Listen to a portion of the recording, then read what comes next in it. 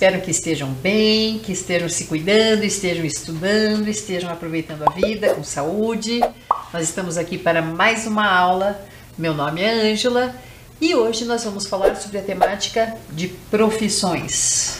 Apesar de muitos de vocês ainda não estarem em uma idade de pensar em relação a uma continuidade de estudos, ao campo de trabalho, é sempre bom a gente saber sobre o assunto, pensando em nós mesmos, em uma carreira futura, em uma vida futura, a gente pensar o que, que a gente gosta, o que, que a gente tem mais afinidade, se eu sou mais da área de humana, se eu sou na área de língua, se eu sou na área de exatas, enfim.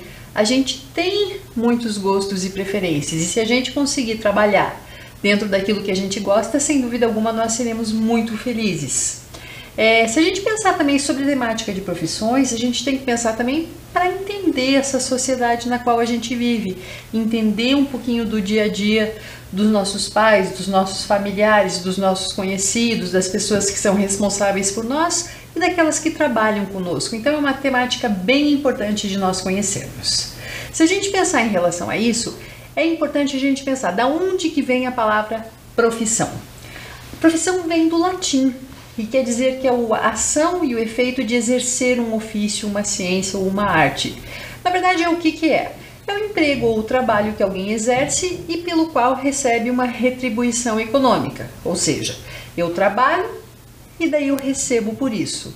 A gente não pode deixar de mencionar, a gente sabe que às vezes há muita desigualdade. Tem pessoas que trabalham e ganham milhões. Tem pessoas que trabalham muito e ganham salário mínimo, às vezes menos que um salário mínimo, ou seja, existem, existem desigualdades no mercado de trabalho. Mas a gente tem que pensar, é o que a gente trabalha, é o ofício que nós desempenhamos, são as ações que nós fazemos e que recebemos por isso.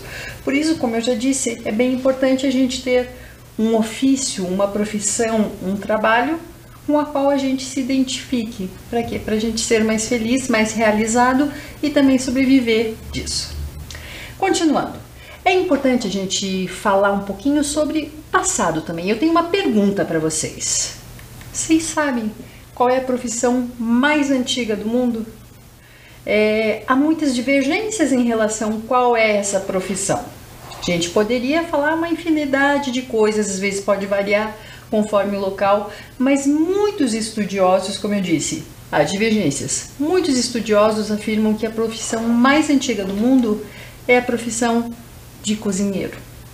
Se a gente pensar em relação à profissão de cozinheiro, mesmo antes das pessoas terem um local fixo, já falei em outras aulas sobre um termo chamado nomadismo, as pessoas nômades. Nômade é aquela pessoa que não tem um local fixo. Ela vai passando, mudando de local conforme a estação do ano, conforme alimento, os alimentos disponíveis, a caça, enfim. Antes mesmo da agricultura, as pessoas tinham que saber preparar seus alimentos. Então a gente pensar isso é há milhares de anos atrás.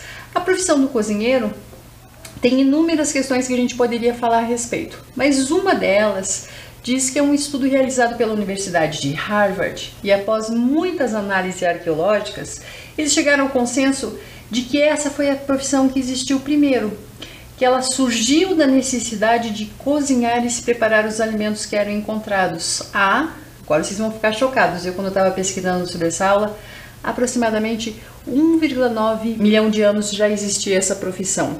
Então, se a gente pensar em relação a isso, é óbvio que tem toda a sua importância. Não importa onde que você esteja, você precisa comer.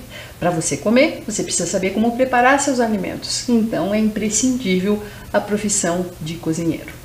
Mas continuando um pouquinho na temática, a gente vai falar sobre outras profissões bem antigas.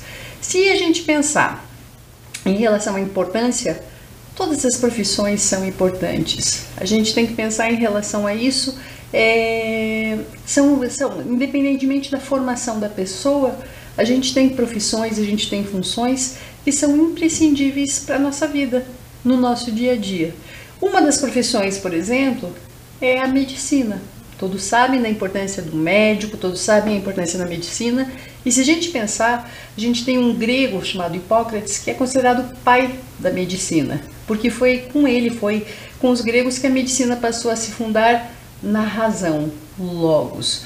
Ou seja, se a gente pensar isso, essa reflexão do ser humano, do seu adoecer, do seu corpo, coisas que acontecem, sentir mal, dor, é lógico que tem todo um, uma importância em relação a isso. A gente tem também atualmente no mundo todo as diversas especialidades. A gente tem aqueles médicos holísticos, generalistas, que pensam na pessoa, no ser humano por inteiro, mas a gente tem também aqueles que vão trazer especificidades. Isso começou muito tempo atrás, ou seja, não é uma coisa que surgiu depois da, do início do curso de medicina, enfim.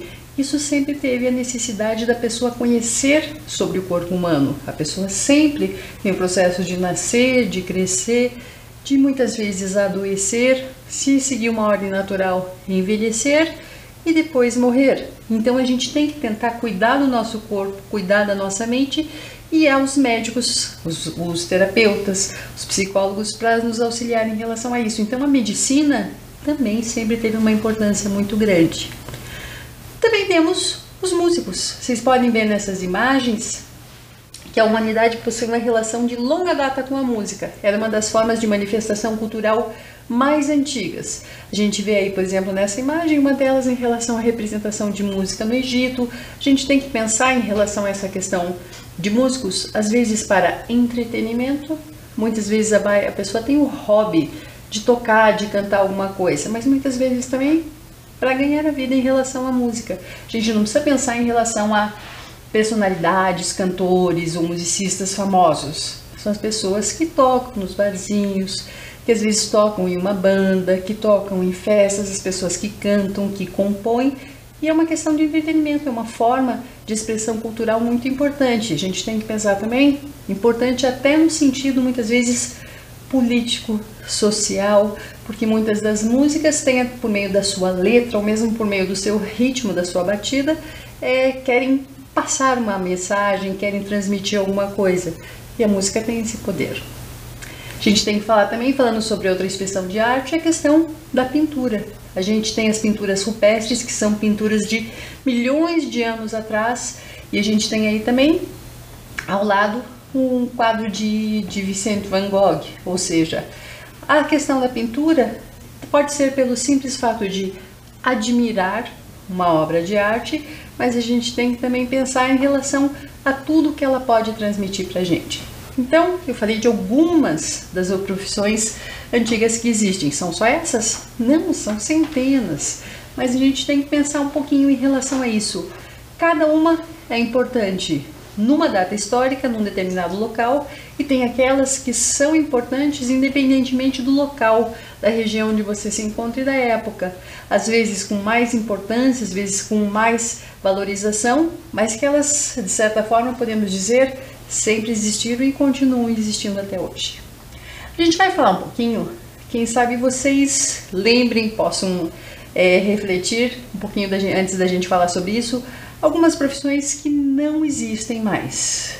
Não sei, eu na minha idade, eu consigo pensar em algumas profissões que existiam quando eu era criança, quando eu era adolescente e que hoje não existe mais. Uma delas eu vou falar, já eu ainda vou mostrar aqui uma imagem, mas é por exemplo, quando eu era criança, ou mesmo quando eu era adolescente, eu ia uh, eventualmente ao cinema, Caso eu chegasse atrasada, ou mesmo durante o filme, às vezes passava uma pessoa com um uniforme estabelecido com uma lanterna dentro do cinema. Às vezes para guiar a pessoa, levar a pessoa até o seu lugar, até a sua poltrona. Às vezes simplesmente para verificar se tivesse alguém conversando, enfim. Hoje em dia não existe mais essa profissão de lanterninha. A gente vai falar sobre algumas profissões que não existem mais. Vocês conseguem lembrar de alguma? Vamos lá. A primeira delas que eu vou mostrar é a profissão de leiteiro. Eu não acompanhei isso quando eu era jovem, já não existia a profissão de leiteiro, mas o que, que é isso? Antes, muitas vezes, a produção de leite era uma coisa que não era tão industrializada. Então, as pessoas tinham os animais, ordenhavam o leite e depois tinha às vezes um processo de fábrica também, mas era muito, muito menor. Então, as pessoas iam e entregavam o leite de casa em casa. Às vezes, galões, às vezes é, em grande quantidade, e às vezes uma garrafinha de um litro, que daí deixava numa cestinha de um litro, dois litros, três litros, conforme o número de pessoas que moravam na casa. Eu lembro que meus pais, a geração dos meus pais, dos meus avós, conheceram muito bem essa profissão. Outra profissão que foi muito valorizada no, no passado e atualmente existe, mas obviamente com o advento da televisão diminuiu um pouquinho a sua importância, que é a questão dos atores de rádio. Nas décadas de 20, de 30, é, teve muito sucesso as emissoras de rádio nos Estados Unidos. E no Brasil, o auge acho que foi nos anos 40, os anos 50, que foi teve a era de ouro da rádio. Então as pessoas, além de toda a questão musical, as pessoas acompanhavam novelas, escutavam novelas, tinham efeitos sonoros e elas queriam da mesma maneira que atualmente muitas pessoas acompanham novelas na televisão, naquela época as pessoas faziam isso por meio do rádio, porque não existia ainda a televisão, ou mesmo quando surgiu a televisão, às vezes era muito caro para muitas pessoas. Então a gente teve a era de ouro do rádio. Então os atores de rádio e também os cantores, obviamente, tinham uma fama e uma, uma importância muito grande. Era uma forma de entretenimento muito comum em toda a sociedade. Outra profissão que existia, e acho que não existe mais ou existe com menos frequência, é a de telefonista. Quando surgiu o telefone, é, isso em 1870, 1880, é, precisava de uma central que ajudou a popularizar o telefone. Então, como muitas pessoas queriam ligar ao mesmo tempo, não era possível, não existia um aparelho de telefone, obviamente não existia celular na época ainda. Então, precisavam as ligações passar, elas precisavam passar por meio de uma central. E nessa central precisava ter uma telefonista que ia de certa forma conectando as pessoas para que elas pudessem conversar.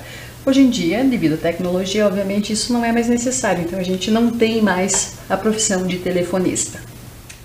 Mas uma profissão que não, não, quase não existe, é bem raro de encontrar hoje em dia, mas até recentemente, às vezes tem alguns apartamentos, alguns edifícios comerciais que ainda tem, mas é cada, cada ano fica mais raro. É a profissão de ascensorista. O que é a profissão de ascensorista? Ascensorista é aquela pessoa que ficava dentro do elevador e ao invés de você, hoje em dia acho que a gente chega no elevador e aperta o número do andar que a gente quer ir, ou se a gente quer descer o andar é, que a gente quer ir, ou às vezes numa garagem, enfim, no estabelecimento comercial. No passado, não era você, você entrava no elevador e falava, ah, eu vou no sexto andar, por exemplo, eu vou no sétimo andar. E essa pessoa, a ascensorista ou o ascensorista, era quem apertava o botão, muitas vezes precisava, no passado, precisava ter é, uma, um, mexer uma manivela para abrir, para fechar a porta, enfim, tinha essa profissão de alguém que era responsável pelo funcionamento do elevador e ficava dentro do elevador com a gente. Mais uma profissão que não existe mais ou está cada vez menos frequente, questão dos engraxates. Aqui em Curitiba, a gente ainda encontra engraxates, principalmente no centro da cidade. Quem são os engraxates?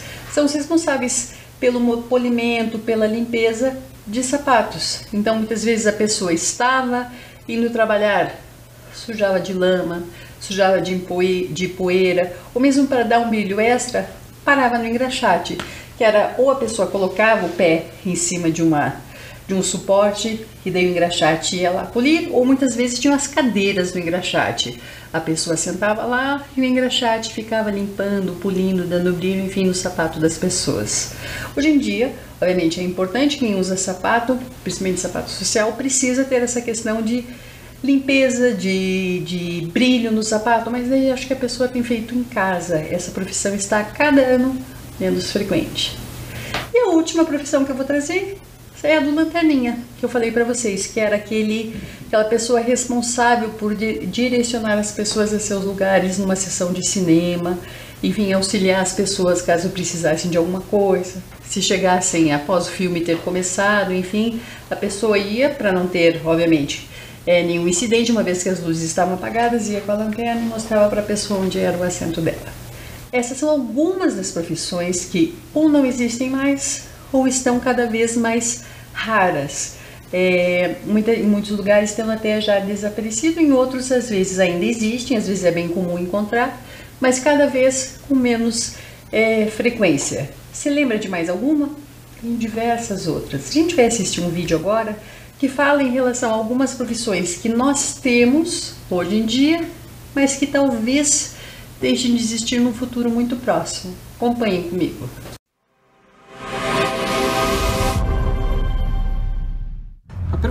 Hoje é do Newton Bruno Dalcol. Ele quer saber qual a tendência de extinção de algumas profissões nos próximos 10 anos. Quais seriam essas profissões que seriam extintas? Obrigado pela pergunta, Newton. Bom, tem um estudo recente da McKinsey, feito no ano passado, no final do ano passado. Segundo ele, eh, algumas profissões têm uma tendência quase total, uma probabilidade gigante de que serão extintas. E outras, por outro lado, têm uma tendência também quase gigante de que não serão extintas. Vamos a elas. Segundo esse estudo, atendentes de telemarketing têm 99% de chance de não existirem mais, porque vai ser uma profissão que vai ser terceirizada para inteligência artificial. Contadores e auditores, 94%. Vendedores de varejo, 92%. Corretor de imóveis, 86%. Maquinistas, 65%. Pilotos comerciais, 55%. Ou seja, em todas essas, é mais provável que essas profissões não existam, ou pelo menos que muito pouca gente as exerça, isso é importante, porque aqueles que conseguirem reinventar a função e fazê-las de forma diferente, única, especial, talvez alguns poucos, sim continuem fazendo e com resultados muito melhores do que eles têm hoje, mas eles vão ser exceção. E tem outras que a probabilidade de extinção é menos do que 50%, mas ainda é relevante. Por exemplo, a minha. Economistas, segundo esse estudo da McKinsey, tem 43% de chance de não existir mais uh, esse trabalho em 10 anos. Técnicos de saúde, 40%. E aí vem aquelas que uh, a chance de extinção é muito pequena. Bombeiros, o estudo da McKinsey estima em 17 7%. É bom lembrar que, por exemplo, quando aconteceu recentemente o incêndio da Notre Dame em Paris, foram usados não só drones, mas também robôs que entraram no combate ao incêndio, mas os bombeiros também atuaram. Editores, a chance só de 6% engenheiros químicos, só 2%, e educadores físicos e dentistas, uma chance muito próxima de zero.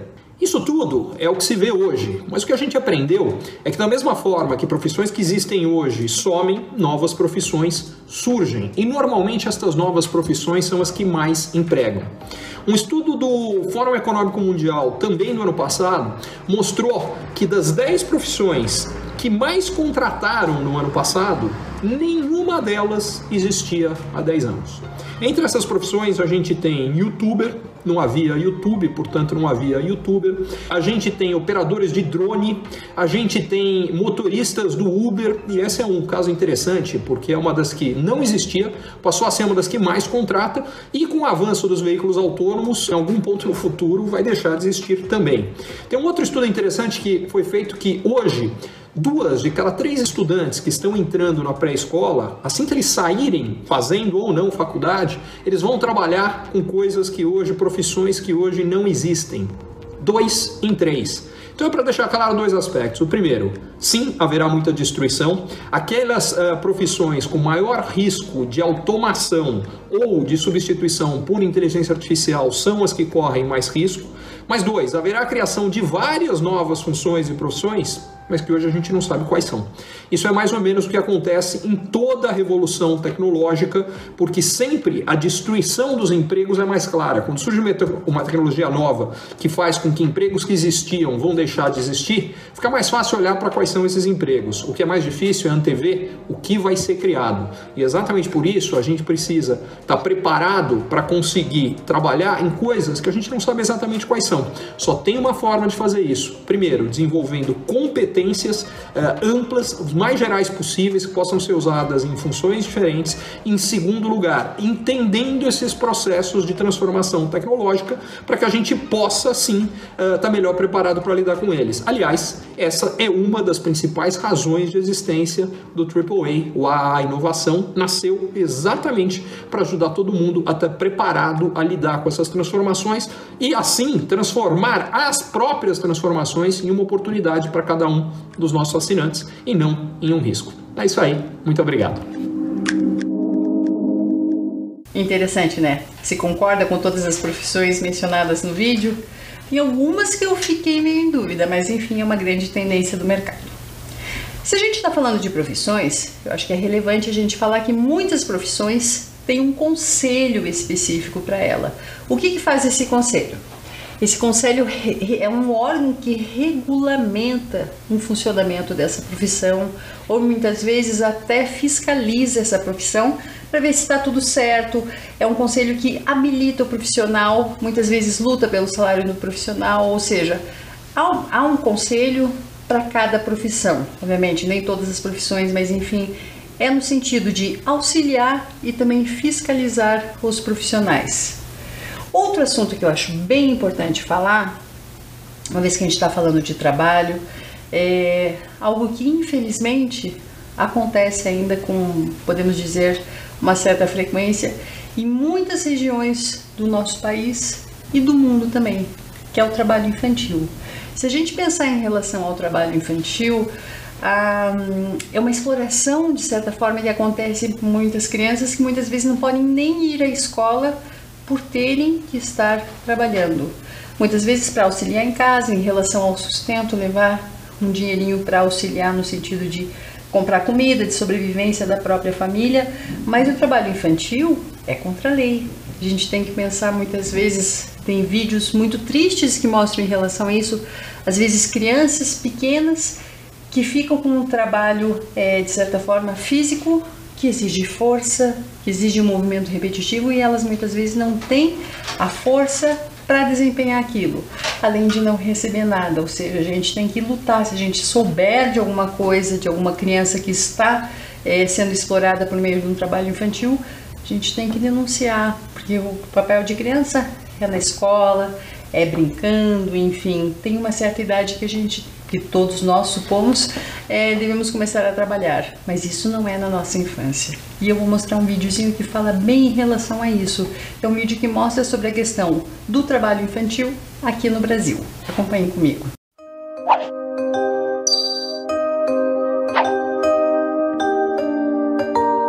Você sabia que não são só os adultos que trabalham? Infelizmente, Há muitas crianças e adolescentes assumindo vida de gente grande antes do tempo. Vamos ver isso mais de perto. Esta é Cristina, uma menina de 8 anos que vive em Pernambuco e que adora jogar bola. Júlio tem 15 anos, mora no Rio Grande do Sul e gosta de empinar pipa. Os dois ainda são crianças e deveriam ter tempo para o estudo e o lazer. Contudo, eles compartilham uma dura realidade ambos vivenciam uma meia infância.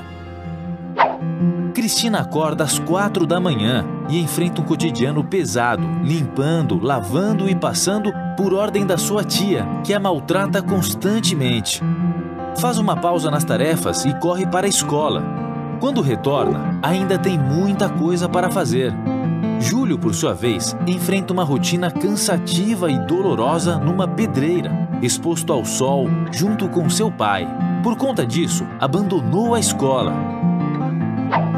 Esses jovens estão submetidos ao trabalho infantil. E infelizmente, Cristina e Júlio não são os únicos afetados por essa violação. No Brasil, mais de 3 milhões e meio de crianças e adolescentes de 5 a 17 anos estão em situação de trabalho infantil. Isto representa mais de 8% da população dessa faixa etária. Mas o que de fato é considerado trabalho infantil?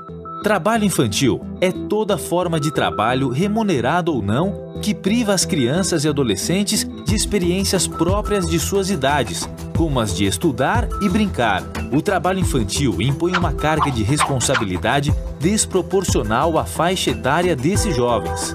Além disso, faz com que exerçam atividades inadequadas à sua estrutura física e psicológica, colocando sua saúde e segurança em risco.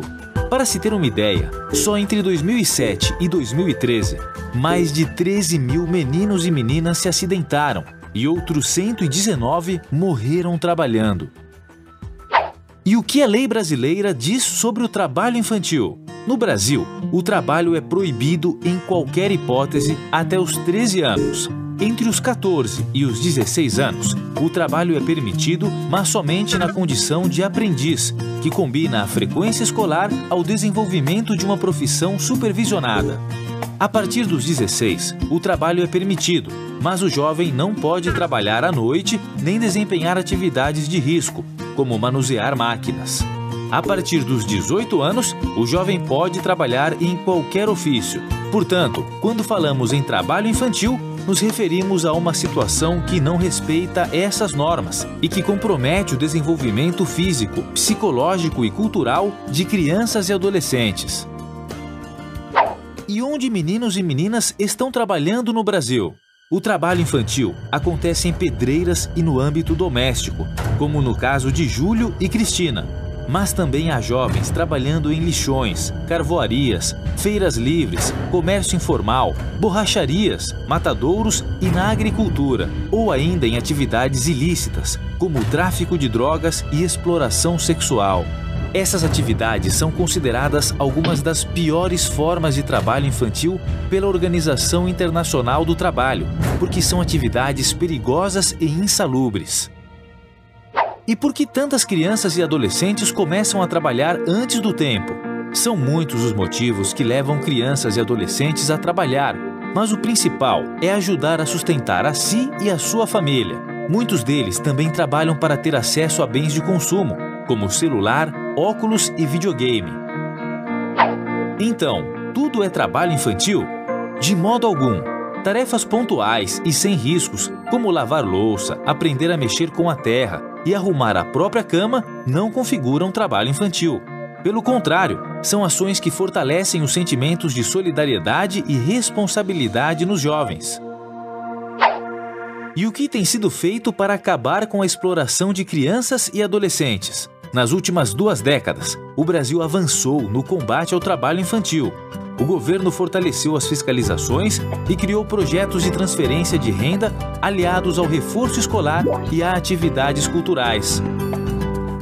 No entanto, para erradicarmos o problema do trabalho infantil, ainda há muito a se fazer. O combate ao trabalho infantil é uma responsabilidade do Estado, da sociedade e das famílias de meninos e meninas, que devem juntos zelar por eles. Se você conhece algum caso de trabalho infantil, denuncie. Disque 100 ou procure o Centro de Referência de Assistência Social mais próximo. Crianças e adolescentes têm o direito a uma infância completa. Todos juntos por um Brasil livre de trabalho infantil.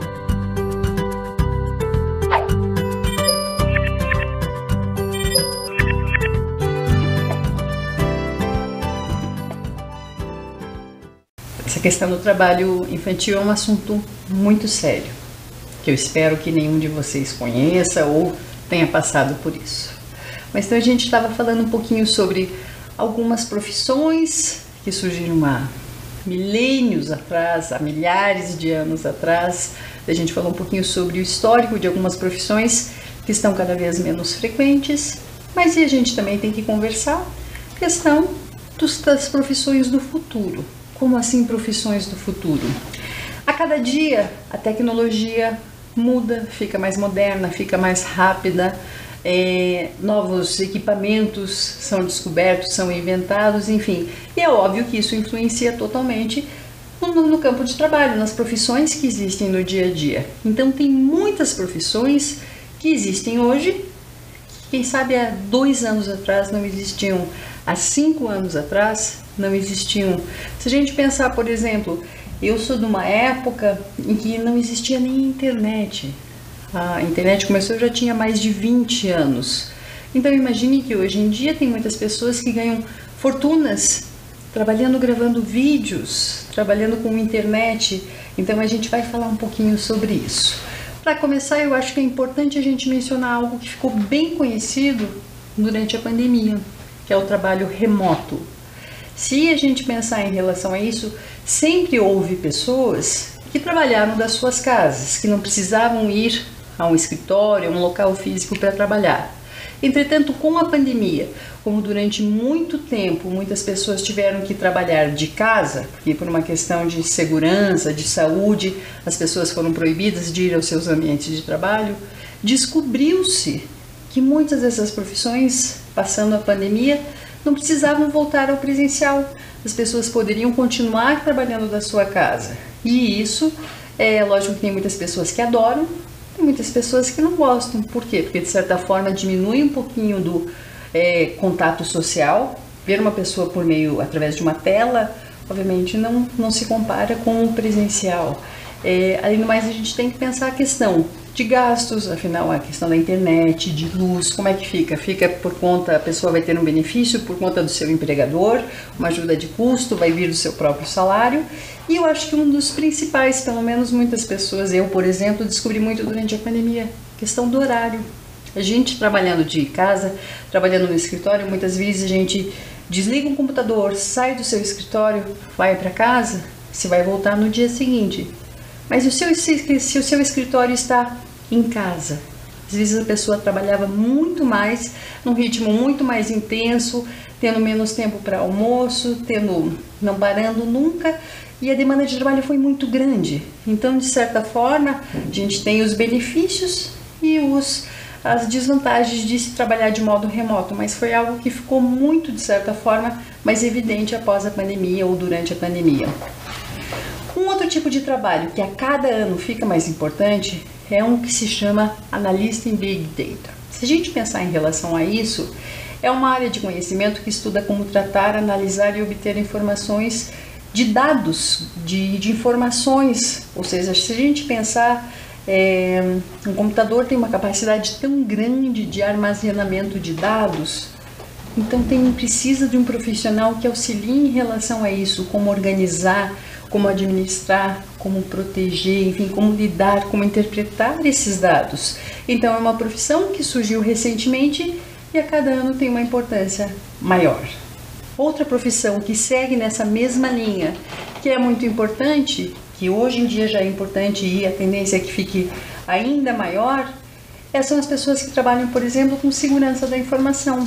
Eu acredito que todos vocês já escutaram falar sobre a questão de proteção de dados, de hackers, de roubo de informações de uma certa empresa, de invasão de nuvem, de informações é, salvas na, na nuvem, de dados pessoais das pessoas, que uma determinada empresa perdeu dados de 300 mil clientes, enfim.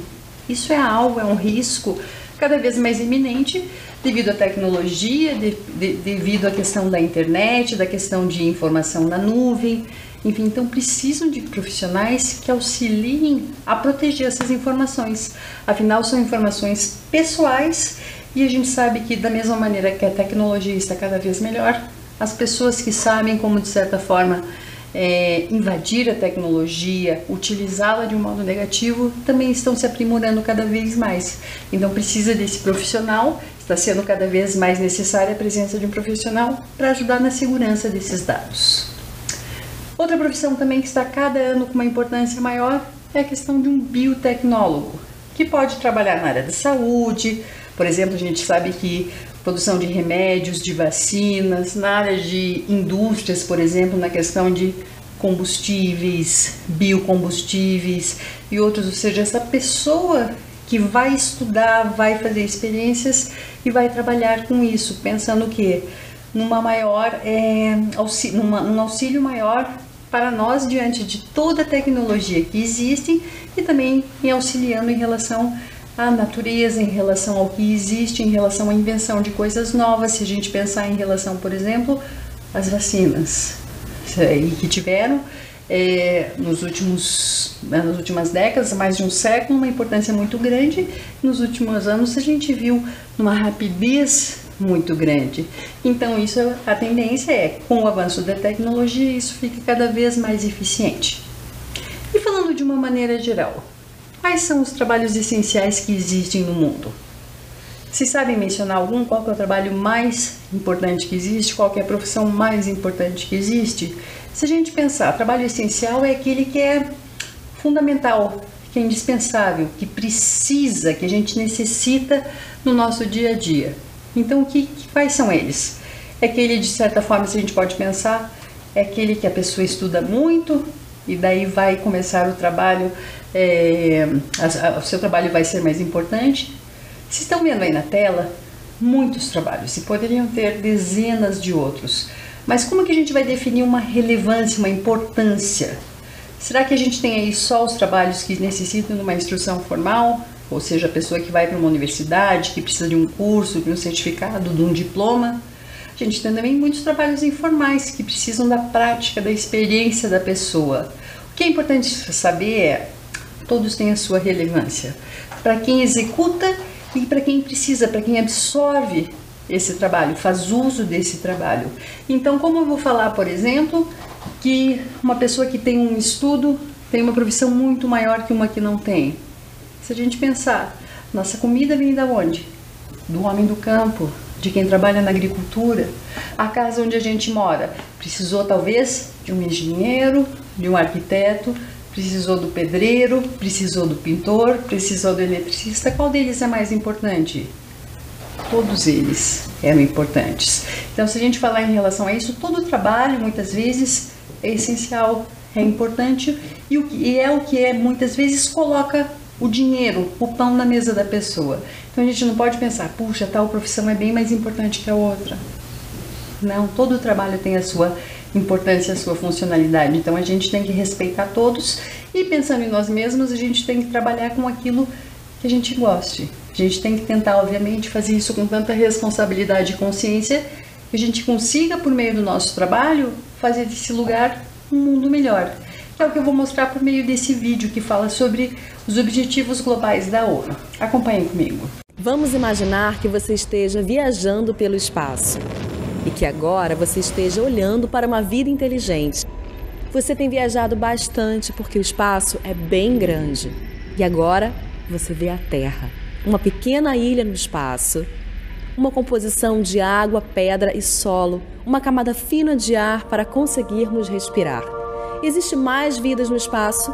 Sim ou não, está em todos os lugares. Se você pensar, nós precisamos basicamente das mesmas coisas: água fresca, ar limpo e comida saudável. A boa notícia é que a Terra tem tudo isso para todos nós. A má notícia é que nós encontramos alguns problemas no caminho. O primeiro é a mudança climática. O jeito que vivemos na Terra hoje está danificando muitas coisas que precisamos para viver. Os combustíveis que nós queimamos estão contaminando a atmosfera. Nós estamos esgotando nossas fontes de água potável tudo isso está mudando o clima. O segundo problema é a desigualdade. Algumas pessoas na Terra têm muito mais do que precisam e a maioria não tem o suficiente. Isso causa pobreza e não é justo. Milhões de pessoas não têm acesso aos remédios que poderiam prevenir doenças. Em alguns lugares, as crianças não entendem o motivo de ir à escola. Em outros, milhões de crianças querem ir à escola. Isso é justo? Com sorte, nós temos um plano. As Nações Unidas anunciaram os Objetivos Globais para o Desenvolvimento Sustentável. São 17 objetivos que protegem o planeta contra a mudança climática e tornam o mundo seguro e mais justo para todos. Nós temos que alcançar essas metas até 2030. A melhor coisa de se ter um plano é que nós podemos checar como estamos indo ao longo do caminho, mostrando as partes em que fomos bem e as partes que devemos melhorar. Até 2030 teremos um longo caminho, então nós temos que encorajar uns aos outros todos os dias. Temos 17 objetivos que trabalham juntos, então há diferentes formas de você ajudar. Você se sentiria diferente sendo menina ou menina em relação à segurança que você sente, aos amigos que tem ou os lugares que você pode ir? E se achássemos uma nova forma de transformar a água em limpa e potável? E se pudéssemos reciclar todo o nosso lixo, o que mais poderíamos mudar? Nós todos vivemos na Terra e nós dependemos da Terra para viver. Nós temos diferentes culturas, nós temos um só planeta e devemos tomar conta disso tudo e uns dos outros e compartilhar o que nós temos de forma igualitária e sustentável. Tudo o que precisamos está bem aqui. Algum dia nós encontraremos vida inteligente em outros planetas Enquanto isso, vamos ver o quanto de inteligente podemos fazer para todos nós na Terra. Só lembrando. É muito importante, a gente tem uma responsabilidade muito grande sobre esses objetivos globais da ONU. E nós somos responsáveis também a tentar diminuir essa desigualdade, diminuir a pobreza, a cuidar da natureza, fazer uso da natureza, mas de uma maneira responsável, pensar em sustentabilidade, enfim, nós como profissionais, uma vez que a gente está falando um pouquinho sobre profissões, mas como seres humanos, não é pensar no futuro, é pensar no hoje, porque se a gente pensar, por exemplo, acontecem tantas tragédias, tantos desastres naturais, será que isso não é responsabilidade nossa? Por uma, de certa forma, exploração desenfreada, por poluição, enfim, a gente tem que pensar no nosso dia a dia, não é pensar na geração do futuro, é pensar em nós. Falando um pouquinho sobre inglês, eu vou trazer bem pouco de inglês para vocês, mas vocês vão ter uma responsabilidade muito grande para pesquisar sobre o assunto. Se a gente está falando em relação a profissões, a gente vai falar de jobs. Jobs. A gente tem outras palavras também, por exemplo, occupation, profession, mas de certa forma, jobs. Um exemplo de profissão: a teacher. A teacher. I am a teacher. My name is Angela and I am a teacher. Outra profissão: a mechanic. A mechanic repairs cars. A mechanic repairs cars a hairdresser. A hairdresser, who helps us take care of our hair, pessoas que nos ajudam a cuidar dos nossos cabelos, enfim, são centenas de profissões que a gente conhece que existem no nosso dia a dia. Eu poderia trazer aqui uma lista de 10, 20, 30 profissões, enfim, não importa o número. Mas eu acho que a gente vai dividir essa responsabilidade. Como assim dividir essa responsabilidade? É muito fácil a gente pesquisar em relação a isso. A gente, quem sabe, tem muitas profissões cujo termo em inglês é utilizado no nosso, é, no nosso próprio idioma. Então, a atividade que eu trouxe para vocês é para a gente pensar e pesquisar em relação a isso. O que, que eu vou fazer em falar em relação a essa atividade? Ela é dividida em cinco partes. Eu vou pedir para vocês pensarem em relação a cinco coisas. Primeira delas, pesquisar sobre algumas profissões. O que, que elas fazem, qual que é a demanda que as pessoas têm, qual é a escolaridade, o ensino que elas têm, qual é a prática, a experiência que elas precisam ter. Depois disso, de pesquisar sobre algumas profissões, se você se identifica mais com alguma dessas profissões, se gosta mais, tem mais apreço por uma delas. Se eu pensar, por exemplo, puxa vida, antes de eu entrar numa universidade, por exemplo, desde pequena, minha mãe era professora. Eu me via ensinando bonecas, ensinando amigas, enfim, eu tinha, já me identificava com a questão de ser professora. Então, o terceiro item seria justificar essa escolha. Eu, Ângela, por exemplo, pesquisaria sobre diversas profissões, de repente, o que, que um psiquiatra faz, o que, que um psicólogo faz, o que, que um filósofo faz, o que, que um sociólogo faz, o que, que um professor faz. A minha identificação maior foi em relação a dar aula, se eu tivesse que justificar essa escolha, talvez pela questão de ter ido com minha mãe na escola, de ter assistido muitas aulas, de ter outros professores na família e de gostar disso. Entendeu? Para as minhas bonecas eu era uma excelente professora. E daí, se a gente pensar um pouquinho em relação ao inglês, como que é o nome dessa profissão em inglês? Você sabe como que é? Ou se coloca, precisará colocar no tradutor, perguntar para a professora, pesquisar em um dicionário, pesquisar em um livro, enfim, como é, é o nome dessa profissão em inglês. E eu quero também que vocês juntos ilustrem escrevam uma frase sobre essa profissão. Por exemplo, se eu falar em relação a mim, Ângela, o que, que eu sou, como eu disse para vocês, eu sou uma professora. Então, I am a teacher. I am a teacher. Se eu fizesse um desenho em relação a isso, seria minha prática de sala de aula em relação a isso, auxiliando os alunos, sentando junto com os alunos, mostrando uma música para os alunos e trabalhando a questão social disso. Enfim, eu ia fazer alguma ilustração em relação a isso. Em relação a você, coloque em inglês o nome da profissão que você escolheria e faça um desenho em relação a isso e depois compare com seus colegas para ver diversos tipos de nomes de profissão em inglês e o que cada uma delas faz. Nossa aula está chegando ao fim, tem muitas coisas para falar. O que é importante a gente pensar é: não existe uma profissão mais importante que as outras. Todas são essenciais, porque fazem bem para a nossa sociedade e são necessárias. Até a próxima. Tchau, tchau.